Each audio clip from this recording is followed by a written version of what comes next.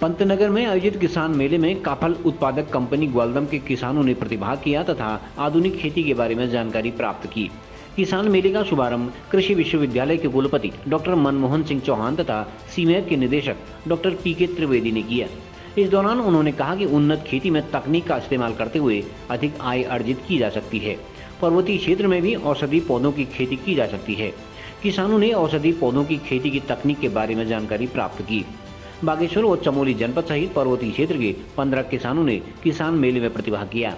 किसानों ने मेले में प्रतिभाग करने को लाभदायी करार दिया है।